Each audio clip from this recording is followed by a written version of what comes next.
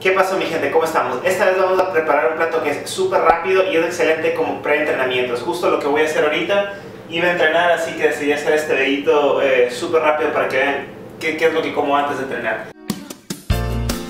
Así que comencemos con la receta. Picamos un tomate de alrededor 80 gramos en cuadritos súper chicos.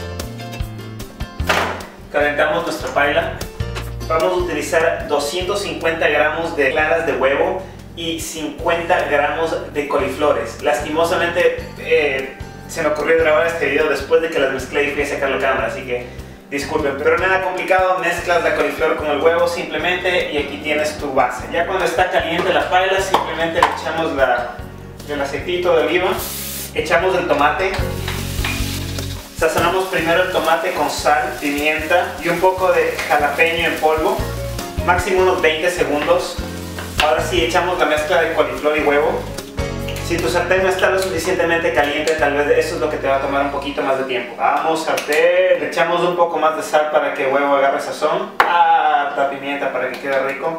Y le echamos más jalapeñito en polvo. Recuerda que antes de entrenar quieres algo de absorción más rápido posible y de digestión más rápido posible para que tu cuerpo absorba los nutrientes de energía. Mientras que seguimos batiendo esto, pones tres tortillas en el microondas. Recuerda que estoy poniendo tres tortillas porque utilizo Gatorade, que son más carbohidratos y electrolitos durante mi entrenamiento. Si es que no utilizas nada de eso, eh, no te gusta o algo, simplemente pon eh, una tortilla más o algo, ¿no? Y esto está listo, ahora sí lo servimos simplemente.